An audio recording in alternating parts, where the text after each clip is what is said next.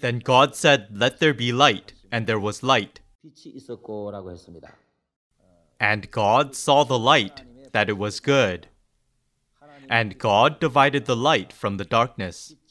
God called the light day, and the darkness he called night. So the evening and the morning were the first day. Usually, when people read this account of the first day, they think that God created the sun on this day, since it says light, and the light on the earth right now is the light from the sun,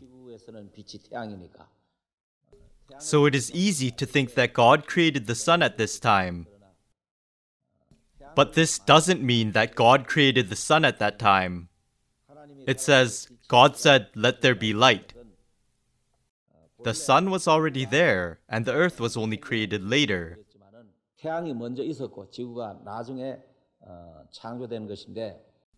So what is the light here?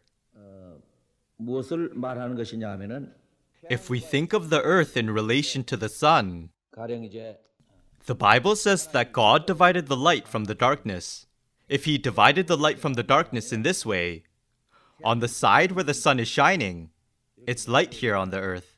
If the division is like this, on this side it's broad daylight, and so there is evening and there is morning. And on the other side of the earth it is night. So God divided the light from the darkness. And God called the light day. God called the light day. And the darkness he called night. This is what the Bible says. There was evening. The Bible always refers to the evening first. And there was morning. There was day and night, and evening and morning. So, what did God make on the first day?